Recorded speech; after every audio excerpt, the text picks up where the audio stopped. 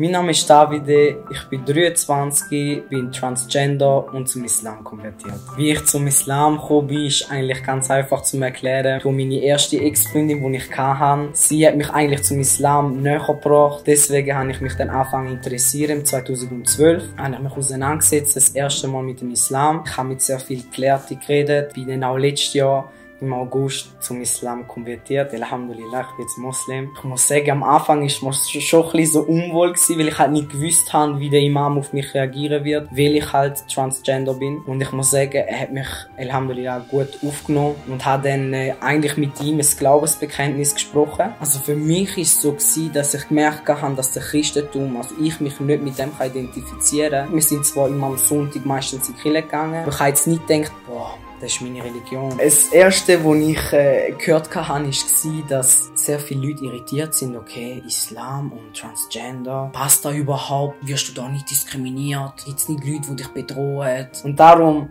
gibt es Leute, die genau dieser Meinung sind, dass das nicht zusammenpasst. Und dann gibt es wieder Leute, die sagen, wow, interessant. Hey, Respekt, wir sind stolz auf dich, mach da weiter so. Und ich hätte mich an diesen Sachen, die mich schlussendlich pushen, weil würde ich mich aufhängen an die negativen Sachen, dann müsste ich es lassen, weil es ist schon heftig. Der Shitstorm ist schon nicht ohne.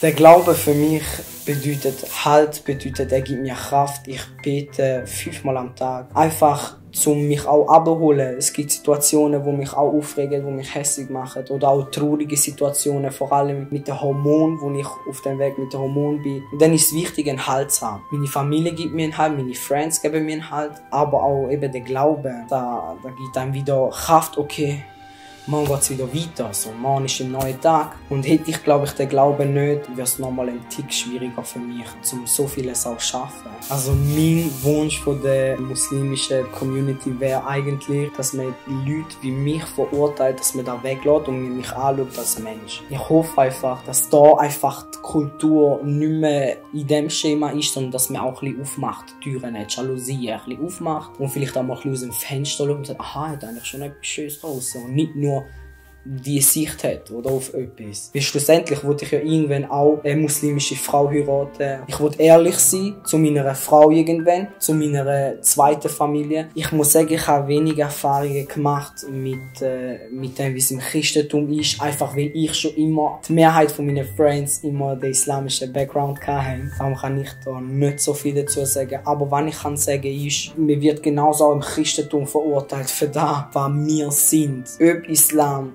Christentum, die beiden Kulturen, nicht Religionen, sagen, es ist eine Sünde. Und darum sage ich, es hat rein nur mit der Kultur zu tun. Die Religion ist etwas ganz anderes. Und schlussendlich werden wir alle, ob das stimmt, was da auf der Dunja, auf der Welt passiert, werden wir dann alle erst wissen, wenn wir nicht mehr da sind. Und darum müssen wir das Beste daraus machen und jeder Mensch so leben lassen, wie er es verdient hat.